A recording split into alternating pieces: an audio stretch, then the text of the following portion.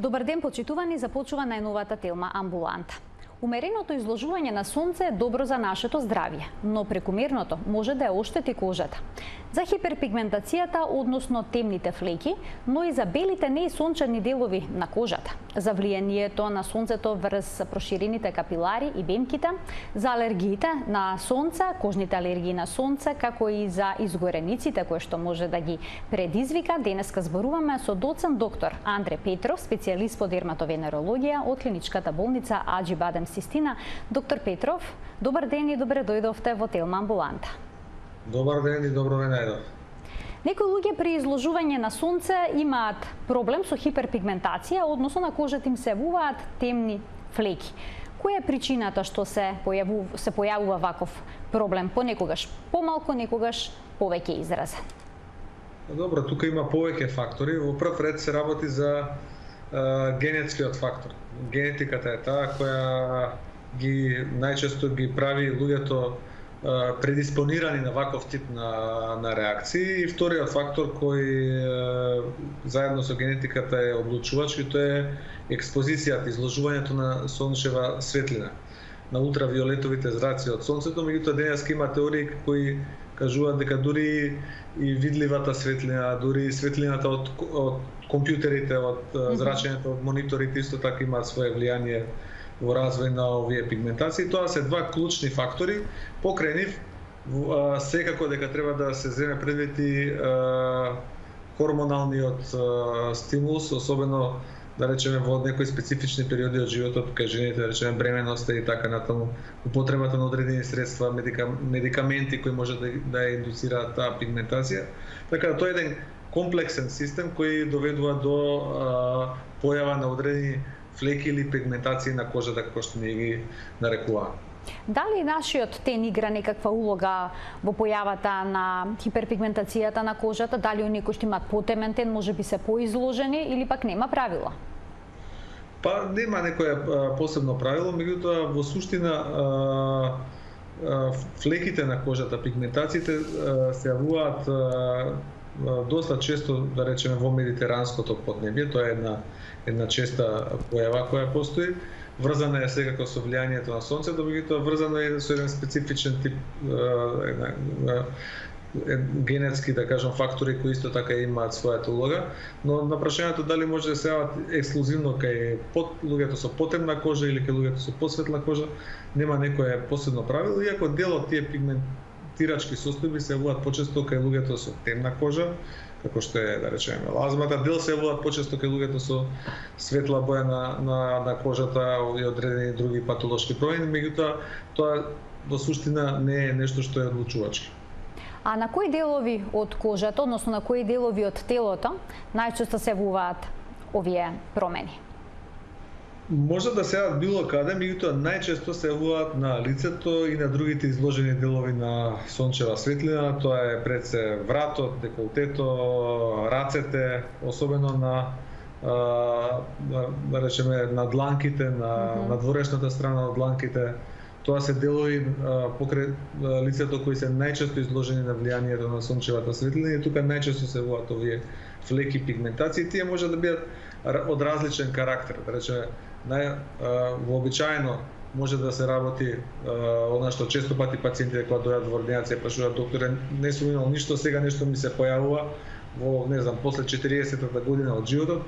И тоа е тоа нешто е се да, тие да речеме пеги кои се јавуваат на кожата како резултат на старењето и како резултат на влијанието на сончевата светлина, ние ги нарекуваме стручно медицински лентиго соларис, тие се најчести, се јавуваат безмалку кај кај сите луѓе, се разбира дека може да се јават и други фактори, и други пигментации од типот на мелазми кои се поврзани со одредени хормонални влијанија, но тоа се најчестите локализации каде што се јавува. Ги споменавте старичките пеги, старичките флеки. Постои ли некаква видлива разлика помеѓу старичките пеги и хиперпигментацијата која што се јавува, например, во летниот период?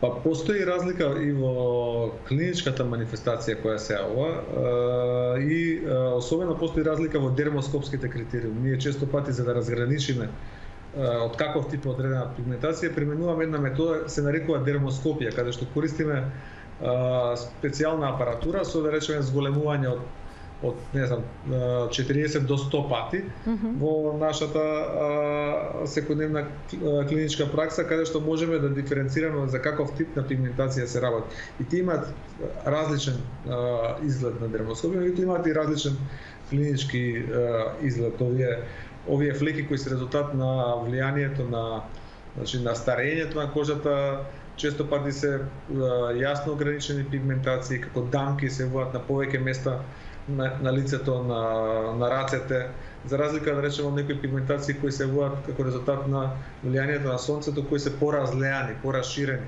зафаќаат mm -hmm. поголема површина.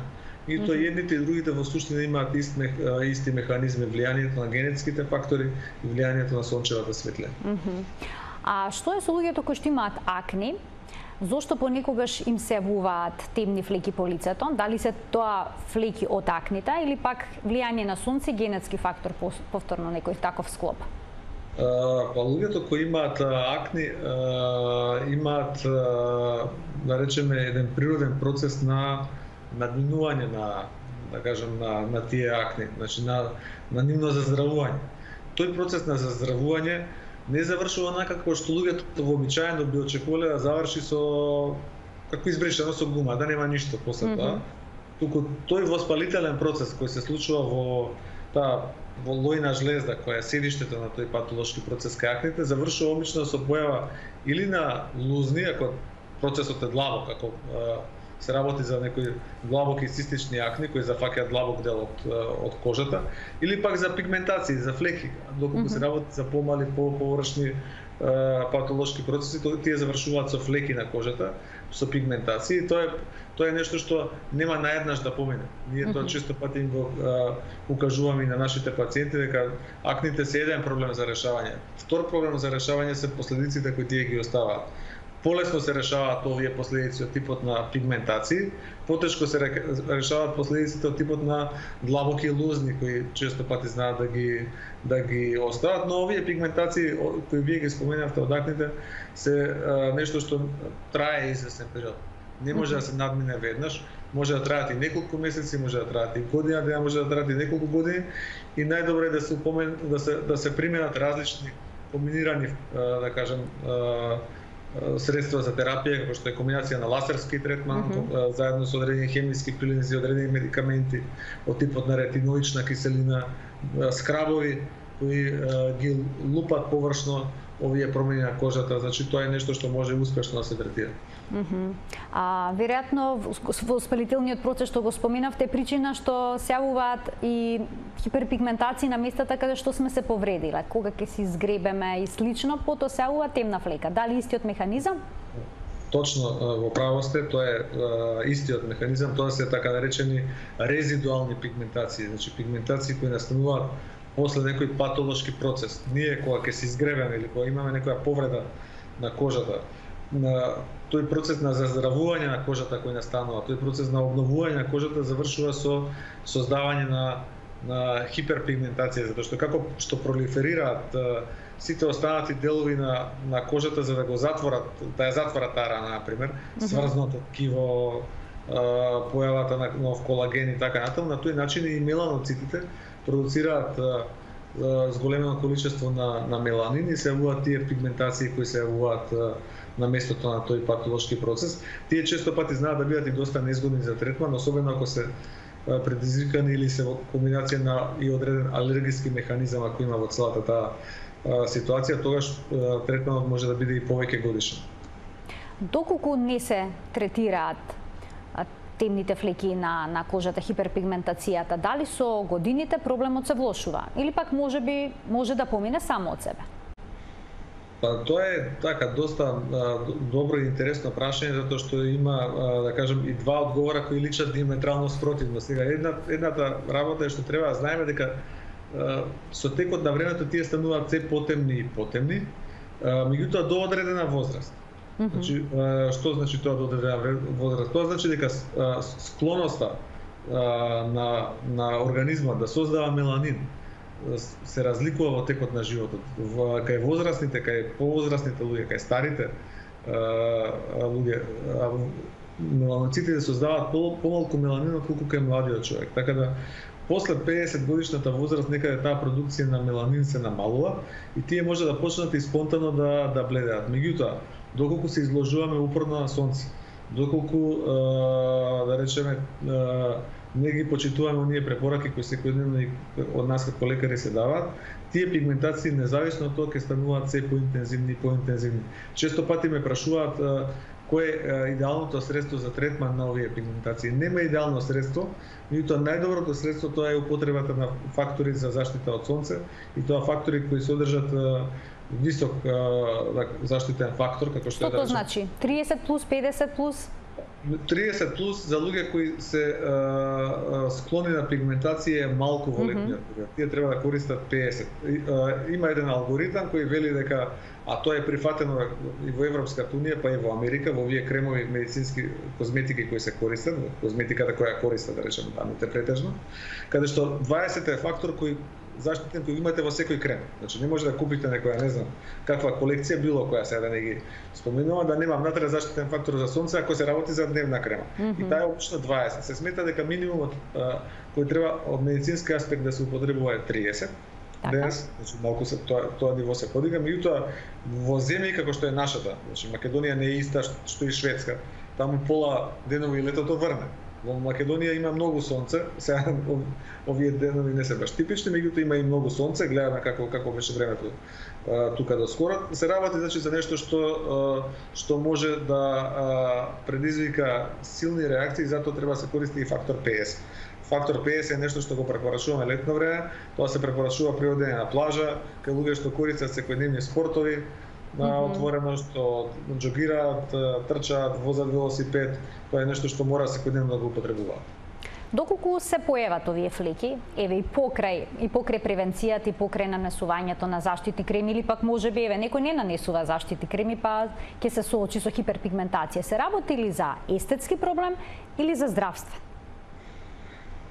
Најчесто се работи за естетски проблем, кој може да се решава на еден од овие начини кои за кои јас малку и нешто спомнам, може тие ласерски да се отстрануваат, може со хемиски пилинзи да се отстрануваат, може да се употребуваат медикаменти, меѓутоа во некои случаи се работи за здравствен проблем. При тоа тој здравствен проблем не се должи на тоа што тие флеки можат да станат страшни наеднаш, како што најголем дел од популацијата смета, туку се всушност се работи дека позади тие флеки не е препознаена некоја друга состојба. Некојаш може да речеме лентиго меланомот да наликува на едно обично соларно лентиго. И заради тоа, кога гледаме дека нешто драматично се зголемува, која ја менува својата боја, која покажува одредени промени во структурата, мој совет е моја препорака да не експериментираме и да, да на некој начин побараме помош на доктор, каде што тие дилеми кои ги имаме би биле расчистени. Така, ќе се разрешат со, со еден преглед. А, што е со оние креми, доктор Петров, за избелување на кожата, кои што ги препорачуваат за отстранување на хиперпигментација на кожата пред се на лицето, дали имаат ефект? Смеат ли да се користат летно време? Што содржат во нив? Па им, тука има повеќе работи, има доста кремови кои користат комбинирани препарати. Најчесто се користат комбинација на кортикостероиди, на ретиноична киселина, тоа е дериват на витамин А, и тоа се користат и одредени, да кажам, кинони кои има и одредени, да кажам, несакани несакани ефекти, заради тоа во голем дел од земјите овие комбинирани препарати се забранети да се да се да се да се користат. Но во се уште се присутни во некои од земјите речем на на пазарот, може да се да се најде. Моја препорака е наместо овие комбинирани препарати да се користат поединечно препарати кои може би го немаат исто истото истата мокност на действото ако се од која ќе се употреба сите заедно, но може да се комбинираат. И со таа комбинација, особено со придржување до тоа да тие не се употребуваат а, во текот на на денот, да се употребуваат mm -hmm. навечер. Mm -hmm. да, со тој на, на тој начин не го предизвикуваат фотосензитивниот ефект, има начин да се делат од работите многу подобро. Покрај тоа, покрај овие кремови може да се користат и одредени фотопротектори, да речеме, кои ние ги даваме кај одредени состојби, како што е резохинот, еден лек кој сега стана популарен и за друга намена, нели почнаа болните со ковид на почетокот да ги третираат со резохин, па потоа се повлекал голем дел од земјите, па го купија цел, ја купија целата содржина по аптеките, па немаше можност да третираме некои пациенти кои кои да речеме имаат други болести, меѓу кои пациентите кои имаат силна фотосензитивност, кај кои го потребуваме. Значи постојат можности да се употребуваат овие препарати, кремите за избелување, значи може да се да се дадат, да се тоа медицински, да се тестирани, mm -hmm. да се одобрени од здравствените власти во земјата. Никако не смее да биде нешто што на времето многу го среќававме. Тоа се така наречените живини препарати кои голем дел од пациентите паци, сами од себе учени од не знам кој во, во местото или во селото или во градот кај што живеа ги ставале па предизвикува и одредени други последици кои имавме кои можеме често да ги гледаме. Значи тоа не го советувам, а оние медицински препарати под под декларација како што треба да се употребува, тоа е нешто што може да се употребува и нешто што има добар ефект. Што е со витаминот С? И во форма на лосион се продава, на крем. Дали оралното земање може да го подобри овој проблем? Витаминот С е многу добар во случајот на превенирање на и на старењето на кожата. Меѓутоа, тој во влегува во целата таа каскада, да речеме, на тие процеси на, на старење на, на кожата и ги блокира. И денес има, а, а, значи, има различни господи, дел од нив ја покажуваат делотворност на оралната употреба на витаминот С, но она што е за нас како дерматолози уште поинтересно е што голем дел на студии покажуваат дека комбинираните препарати со витамин С, силен антиоксиданс имаат свое своја и како голема улога во третманот во на овие промени за кои зборувавме на кожата, меѓутоа исто така и во спречувањето на старењето на кожата, бидејќи сите овие пигментации, флеки, промени на кожата бршки се всушност еден процес на природно старење на кожата кој mm -hmm. постои, кој е засилен од начинот на живот како што го живее модерниот човек. Дали ласирските третмани се всушност трајно решение за проблемот со флеките на лицето? Трајно не се. Значи трајно не се. Тоа, да, значи трајно не се и тоа е нешто што при секоја последа кога ќе дојде а, пациентка најчесто или пациент кој е заинтересиран за тоа, тоа е првата реченица која се обидувам да им ја кажам дека ласерските третмани не се трајно решение mm -hmm. за тие естетски проблеми на лицето кои ги имаат. Меѓутоа, ласерските третмани, особено фракциони од CO2 ласер, се најдоброто решение кое на одреден период може да им гарантира задоволителен успех, а кој ние го правиме во нашата институција, во нашата болница и тоа е нешто што навистина е многу многу добро но секогаш е добро пациентот да е реалистичен во очекувањето. Mm -hmm. Чи, да се знае дека тоа е нешто за некој период од неколку години, навистина ќе има две до три години добар ефект, меѓутоа тоа е процедура која може да се повторува. Предноста на овие неинвазивни или полуинвазивни, ајде не се сосема неинвазивни, полуинвазивни ласерски аблативни третмани на лицето е тоа што тие имаат можност да се повторуваат за разлика да речеме од хируршкиот лифтинг кој не можете многу често да го да го, да го а, практикувате. Така да затоа и трендот на светот оди во тој правец заради тоа што тоа е постапка која често може да се да се повторува и е без некој голем дискомфорт за пациентот. Доктор Петров, па понекогаш на кожата се јавуваат темни флики кои што се рапави, а, меѓу народот се познати како лиши, лишеј. Зошто се јавуваат и дали се на било каков начин поврзани со влијанието на сонцето? А не, тие тие обично се резултат на сувоста на кожата. Mm -hmm. Тие имаат поинаков механизам, тие лишајчиња на, кожа, на кожата кои се јавуваат, тие се нешто што е резултат на сувоста на кожата и резултат на нешто што се нарекува а, а, пруритус или народски кажано чешање. Mm -hmm. Чешањето на тие промени, на таа сува кожа, често пати предизвикува таа механичка, механичка травма през кожата да ги стимулира меланоцитите да продуцираат повеќе меланин и на тој начин се јавуваат тие лишајчиња на кожата што се јавуваат. Тие се, да речеме, округли подрачена или овални на сува, тврда, рапава кожа која е пигментирана и таму она што го советуваме е упорното мачкање, значи секојдневното мачкање на кожата со неутрални емолиенти. Кожата мора да биде доволно сатурирана со овие доволно нахранета со овие масли за да помалку чеши за да помалку се јавуваат овие проблеми Тоа е работа која со една добра нега на кожата, со правилна нега на кожата, со избегнување на често фреквентно миење и шампонирање на кожата може да да предизвика и како добар резултат. А во текот на летото покрај темните флеки на кожата, понекогаш се јавуваат и бели, не и сончани делови на кожата. Што се случува? За каков проблем станува збор? Па, а, се, а, понекогаш може да се јават бели флеки на кожата, всушност а, некогаш, особено во делот на грбот и на, деколте, а, на деколтето напред, mm -hmm. а, па и на вратот, може да се јават бели флеки на кожата кои се резултат на неколку различни може да бидат а, патолошки процеси.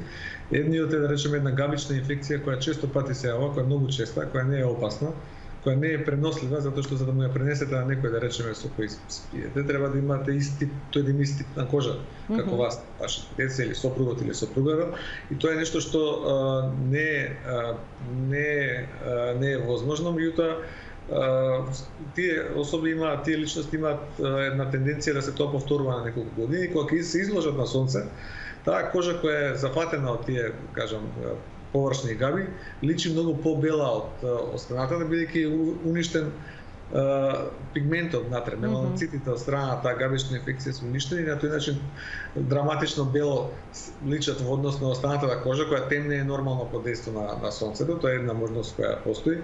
Втора можност на тие бели флеки е особено кај децата со сува кожа, често пати на вратот, на лицето, на рацете се забележуваат бели флеки, па луѓето доаѓаат родителите особено исплашени, докторе, ама да не ова витилиго кај моето дете. Затоа што кога ќе прогуглаат прво тоа излегува да, витилиго. витилиго да не е не е витилиго, значи се работи за така наречената питириазис алба, ја викаме, не? Ние mm -hmm. или тоа е кај, е, на манифестација на сувата атописка кожа, кај што стрептококите кои нормално живеат на кожата, се ќе се запрашаат еве гледачите како тоа живеат бактериите на кожата, живеат нормално. На кожата на возрастен човек има 3 кила бактерии.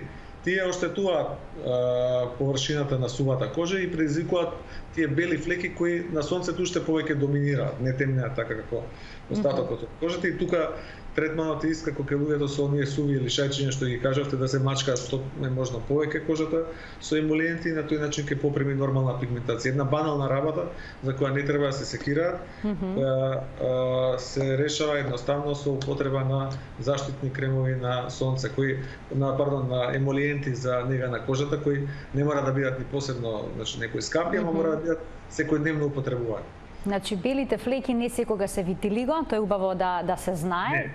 Но, и... многу многу ретко се витилиго, затоа што витилигото е болест која не е така честа.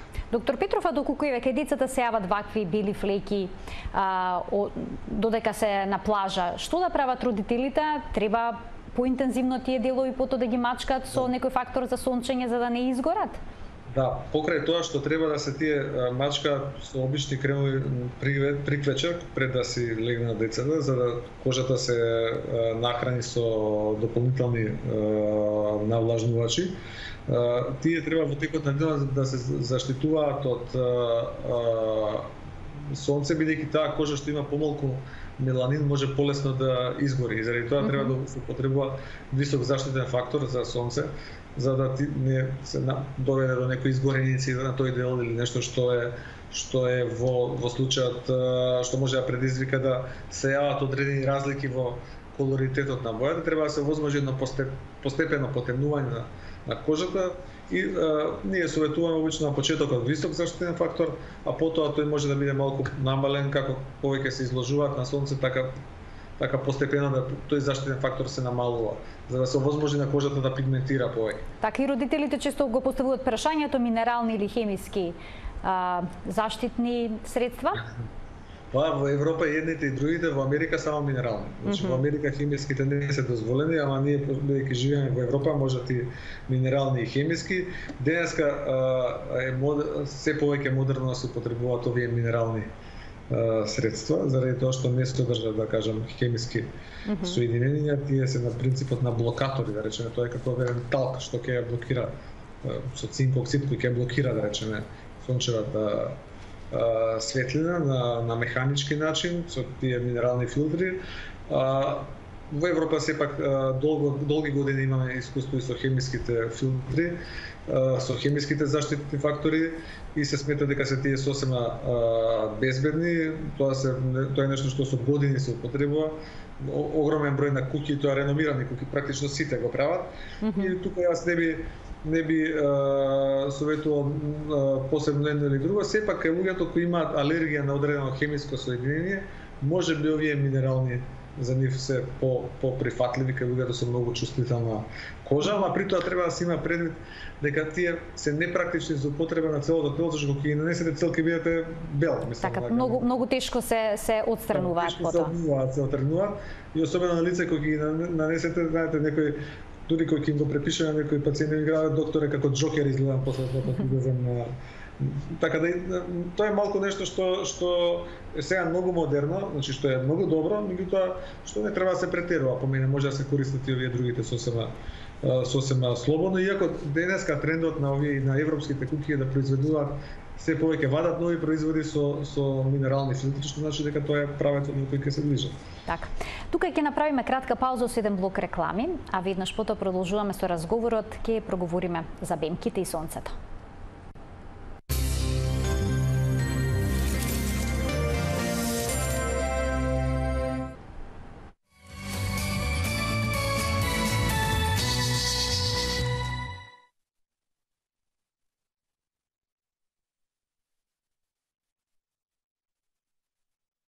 Продолжува денешната телма амбуланта, зборуваме за најчестите кожни проблеми предизвикани од сонцето со доцент доктор Андре Петров, специјалист по дерматовенерологија од клиничката болница Аджи Бадем Систина. Доктор Петров, сите ние имаме бемки, кој помалку, кој повеќе.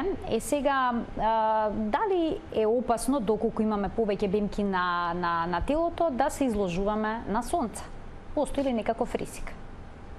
Добро, кај секој човек што има поголем број на бемки, постои поголем ризик да се изложува на сонце и треба да употребува заштитен фактор за сонце. Тоа е нешто што сите треба да го употребуваме. Луѓето што имаат повеќе бемки или така наречениот multiple mole синдром се нарекува на англиски или народски кажано на нашки, кај луѓето со голем број на бемки на кожата, синдром со голем број на бемки на кожата, треба да се употребуваат поголем број на појаки заштитни фактори на сонце и почесто во текот на денот да се нанесуваат. Не е доволно само еднаш да се нанесе, треба неколку пати во тек на денот да се нанесуваат.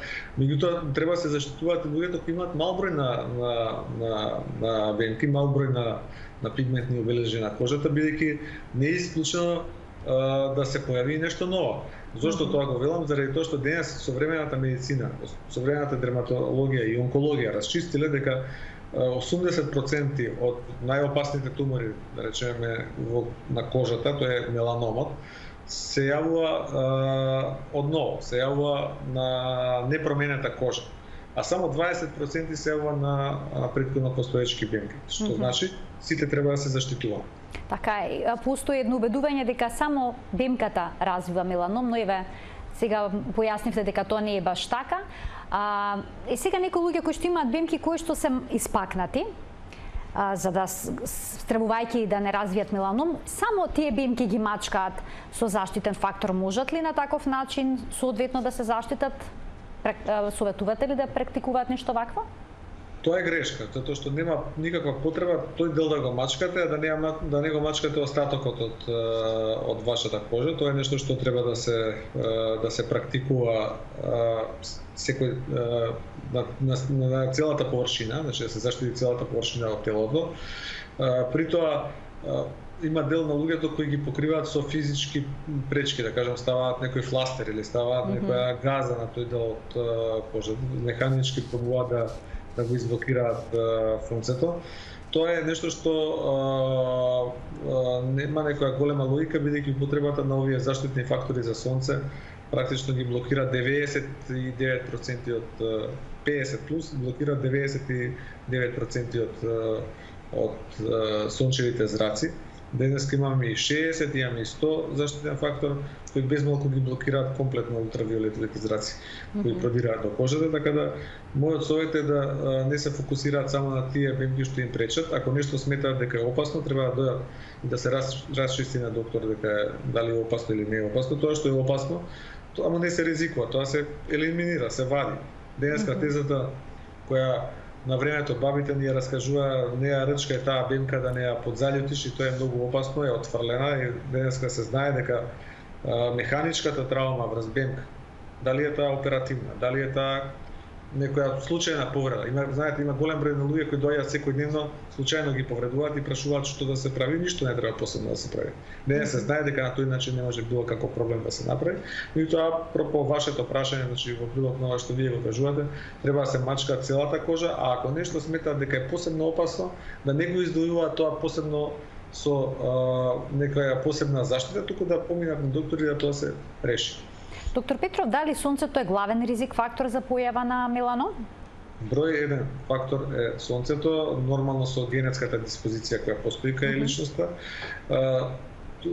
Кај меланомот, како и кај сите тумори, всушност е мултифакторијална таа таа етиопатогенеза. Меѓутоа денес е многу добро познато дека дека кај меланомот ризикот е значително зголемен кај луѓе кои неконтролирано се изложуваат на сонце. Зачестените изгореници, особено и дури во периодот на детството, се смета дека се еден од факторите кои може подоцна во текот на животот да, да доведе до развој mm -hmm. на, на меланом. Се, има студии во Австралија, особено кои тоа го, го кажуваат. Исто како што има студии во овие земји како што е Австралија, Америка, Англија, кои покажуваат дека употребата на заштитен фактор на сонце и раното откривање, значи превенцијата, начинот на кој и ние го правиме во последните години, значено е намалува инциденцата на, на, на, на меланома и тоа значи дека прво треба да се штитиме од сонце, второ треба да се посветиме на рано откривање, односно да а, луѓето кога нешто ќе приметат дека се менува да отидат на доктор, на дерматолог да тоа се провери. А дали може меланом да се развие и на место на кожата кое што никогаш не било изложено на сонце? Значи никој што не било сончано. Може, затоа затоа и велиме дека етиопатогенезата е мултифакторијална, дека mm -hmm. не е сонцето ексклузивниот фактор кој кој на тоа влие.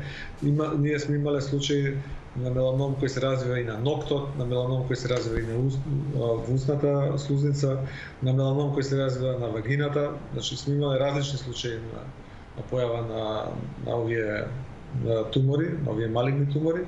Во литературата има и и искуства за тумори во окото, на меланом кој се развива на окото, значи натре во окото, меѓутоа исто така имало и случаи кои нашите патолози ги реферираат со кои со работување имаш имаше пред известно време нашиот патолог од Аџибадем се стигна една интересна презентација за за тоа дека меланом може да се најде и во дигестивниот тракт mm -hmm. и така натаму што е навистина вака зачудувачки имајќи предвид дека сметаме дека сепак клучниот фактор е е сонцето. Е сега во период со пандемија на COVID-19, некои истражувања сугерира дека витаминот D би можел да има некаква заштитна улога, нели тој се синтетизира во нашата кожа природно во периодот кога всушност не смееме да се изложуваме на сонце во летните месеци, зависно од месецот, помеѓу 11, 10, 11 и 15 или 16 часот. Што сега вие советувате дали може би би можеле да направиме некакви отстапки да прошетаме во тој дел од денот под шарена сенка за кожата, за односно телото природно да го синтетизира витаминот Д или пак не сме да се ризикува? Јас не сметам дека луѓето треба да стојат затворени и да не излегуваат на сонце. Напротив, сметам дека треба да се изложуваат на сонце, бидејќи сонцето сепак има своји позитивни ефекти. Сонцето има свое влијание на психата на личноста, па има влијание и на други болести, дури и тераписки се, се користи кај одредени болести. И мислам дека изложувањето на сонце апсолутно сте во право дека помага и при синтезата на витамин влијае на, на целокупната здравствена состојба на организмот. Мојата а, препорака секогаш е да се изложуваме максимално колку што можеме, ама да се изложуваме на паметен начин. Што значи mm -hmm. тоа? Нема потреба да се изложуваме на сонце кога е најтопло помеѓу 12 и да речеме 16 часот, кога кога пржи, кога пече на сите страни, што ќара тоа што ќе ќе потемне, ќе поцрниме на, на некој начин, ќе се направиме кјумор можеби, меѓутоа тоа не е не е за мене знак за убавина, ниту па е знак дека не знам како сме го поминале одмора. Треба да се оди на постепено темне, што повеќе да се изложуваме, нека биде тоа од раните часови од денот до некаде периодот на пладне и пута во попладнините часови, меѓутоа секогаш да биде со употреба на заштитен фактор.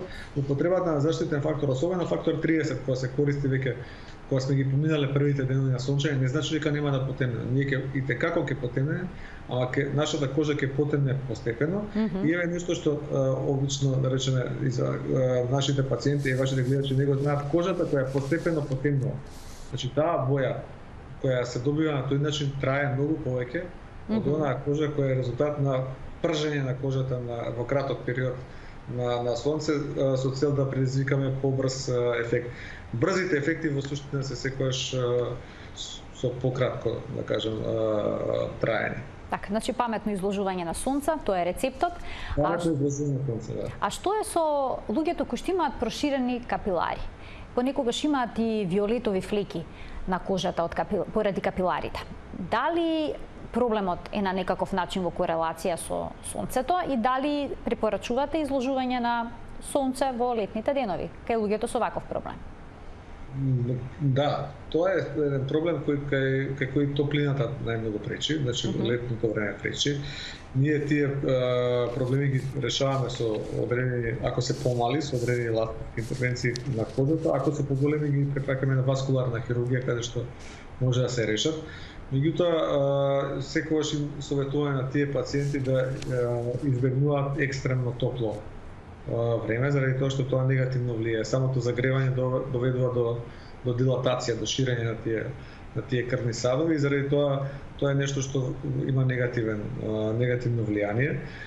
Треба да се да се заштитат од тоа, треба да избегнуваат голема топлина, изложување на голема топлина, но повторно тоа не значи дека треба да бидат сокриени од сонцето, да не излегуваат на плажа, да не одат да не се релаксираат, напротив, тоа треба да го прават, меѓутоа повторно да ги избегнуваат оние часови кои се најризични, mm -hmm. кај таквите личности на кај кои најчесто тие промени се локализирани на нозете поради действиот на земјината тежа и поради целиот притисок на на телото, таа циркулација во нозете е најчесто страда и е, е изложена, им советуваме да носат сепак се уште една стара метод, една стар метод кој се уште е многу добар, тоа се оние еластични чорапи кои со својот притисок кој го прават на на крвните садови овозможуваат да на некој начин се штити зидот, да се направи една подпора, една заштита странична за тие што помалку да пукаат, а ако се случи да дојде до нивно пукање, има начин како тоа се решава, може да дојде да се обратат на доктор и тоа има начин како да им помогне. Зошто се повеќе луѓе се жалат на алергија на сонце? Некој вела дека дури кога возат раката која што им е изложена покрај прозорецот понекогаш почува да ги чеша и забележуваат флеки на неа. Чести се алергиите на сонце се се почести. Предпоставам дека дел од тоа оди во прилог на тоа што и инциденцијата на алергиските реакции се почеста. Mm -hmm. Тоа е на некој начин поврзано со имуноалергиската конституција на личностите, која на начинот на модерното живење и на начинот на, на исхрана и на типот на живот влијае на развој на овие промени, меѓутоа исто така на, на сето тоа влијае и животната средина. Сите тие нарушувања на амбиентот во кој живееме имаат свое влијание и се доста чести. Меѓутоа тука треба да се разграничи. Дали се работи за алергиска реакција, дали се работи за една иритацијска реакција, дали се работи за една обична изгореница од сонце која може да настане исто така при значи исто така треба да се тоа се низ процедура на спроведување на одредени алергиски тестови и други дополнителни процедури може да се да се разграничи многу е често тој особено на рацете во на на откриениот дел на на вратот, на деколтето да се јават таков тип на реакции и на тие луѓе им советуваме да се во тој дел заштитуваат максимално колку што може. не само со заштитни фактори, туку и со соодветна облека. Понекогаш таквите луѓе им советуваме да носат, да речеме, и долги ракави, некоја лесна ткенина со бела боја, со светла боја, која не привлекува сонце за да се заштитат и да не носат отворени делови напред на вратот на деколтетот, бидејќи имаат проблем, се воат пликови, се алергиска реакција, веднаш при самото изложување на, на сонце или така наречената алергија на сонце, уртикарија соларис, како што ми ја нарекува. Точно ли дека најчесто овој проблем се јавува кај жените со посветол тен? Се јавува почесто кај жените, вака емпириски, се јавува најчесто кај луѓе што имаат почувствителна кожа и тоа е нешто што да, се јавува почесто кај луѓето со посветол тен. Mm -hmm. а, така, е сега има ли начин некако да ги спречиме алергиите, да ги превенираме, алергиите на сонце конкретно. За да речеме суплементација на витамин D или пак да јадеме повеќе моркови. Можеме да прочитаме такви најразлични совети на, на интернет. Па добро, тоа се добри е, можности, некои од нив. Е, јас не сум е, од оние што советуваат да се лекуваме преку Google, меѓутоа може да се прочитаат и паметни работи, да речеме некои од нив, особено некои нутриционистички препораки се добри, но се сепак држањето до медицинските протоколи, заштитата со заштитни фактори за сонце, кај луѓето со фотоалергии, употреба на резохин, на на, на хлорохин, на така наречените антималарици кои се даваат за за фотопротекција во летно време исто така нешто што може да се употребува кај луѓе кои немаат толку екстензивни реакции се употребуваат антихистаминици од типот на неседативни нови антихистаминици кои не им пречат во секојдневното живење, а сепак ја не штитат, ја блокираат таа алергиска реакција, таа хистаминска реакција. И моето последно прашање се однесува на изгорениците кои што се јавуваат во текот на летниот период. Како можеме да си олесниме во тие моменти, што да направиме за кожата побрзо да се опорави? Изгорениците се многу чести. ние секојдневно во ординација доаѓаат луѓе кои биле на плажа, се изгореле и кога ќе ги прашате, докторе заборавив да станам заштитен фактор, се занесов или ке често пати знаете што се случува еден дел на кожата кој остана ненамачкан, значи mm -hmm. ќе го измачка целото тело и некој дел кој е поделикатен да речеме ќе го заборава да го измачка. Така тука и... кај кај пазувите најчесто се, се случува некој триаголнише да остане ненамачкан. Или или под градите, под градите така, да. често пати нема да го намачка и тоа со движењето на таа заштитна облека да речеме во, во тој дел се јавува една зона која е директно изложена на сонце, кај која воопшто нема заштитен фактор. Мојот совет на сите е да а, нанесеме заштитен фактор кога сме во соба, уште пред да излеземе mm -hmm. на плажа и на тој начин да се измачка а, целото тело. Тоа е најдобриот начин како да се заштитиме и да ги избегнеме овие а, овие проблеми, а веќе кога ќе се јават, најдобар начин да се третираат е да се употребат локални кортикостероидни емулзии или спреови кои од на еден начин ја ладат кожата, делуваат и противоспалително, значи антиинфламаторно, може да се користат покрај нив и парацетамол може да се даде, да речеме mm -hmm. да кој исто така една, има едно а, таблетка или две таблети кои има про, противоспалително дејство да се малку тргнат од а, директното влијание на сонцето. Меѓутоа во народот се присутни оние други методи како што е мачкање со кисело млеко и така натаму кои го користат принципот на на ладење. Mm -hmm. а, но а, секогаш докторската препорака е немојте да користите кисело млеко, подобро користете емолиент кој од типот на некоја кортикостероидна емулзија измешана со емулен која на еден начин прво ќе ќе лади кожата, меѓутоа има внатре и противвоспалителни лекови кои ќе го смируваат воспалението. Значи идеална препорака е да се користат кортикостероидни спреови, емулзи и употреба на парацетамол на антиинфламатори во во терапијата. Доктор Петров, ви благодарам за вашето денешно гостување. На вистина многу совети за нашите гледачи, поврзани со летото, сончевите зраци, здравјето на кожата и ве сосема на крај можеме ли да носиме некои шешири, треба ли да носиме за да заштитиме кожата бидејќи велат сонцето е старе пред време, па за да не се јават борите. Иако се тие неизбежен дел од старењето, но може ли да се ублажи на таков начин? Тие се неизбежен дел, но сосема сте во право, тие можат во голем дел да се редуцираат со комбинација на заштита со потреба на ова што зборевме заштитни фактори, mm -hmm. исто и на заштитни шапки, на, на, на, на капи. Така. Ние советуваме капа со стреја да биде, да биде mm -hmm. или оние речеме по пошироки шешири кои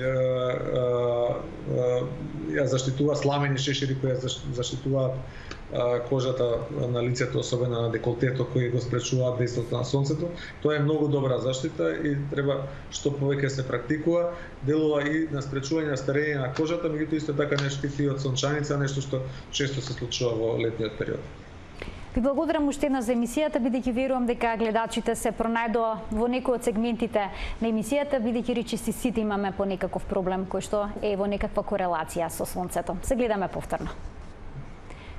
Почитувани денешен гостин во емисијата беше доцент доктор Андре Петров, специјалист по дерматовенерологија од клиничката болница Аджи Бадем Систина. Тука го заокружуваме денешното издание на Телма Амбуланта. Се гледаме секој работен ден на телевизија Телма. До гледање.